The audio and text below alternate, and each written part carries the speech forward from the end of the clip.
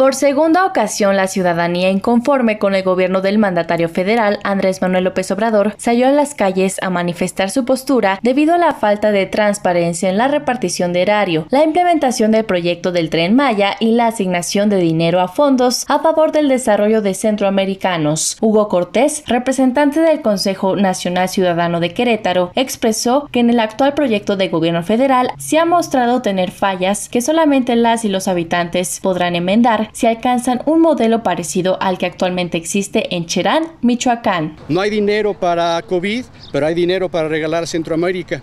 Eh, la sociedad no quiere el tren Maya, pero el señor en videos dice, el tren Maya va porque va. O sea, eh, y ve sus justificaciones y no son memes a lo tonto. Tú pones un eh, video de, Hugo Chávez y pones un video de, de López Obrador hablando y parece una copia. Entonces, estamos hartos los mexicanos de que nos vean la cara.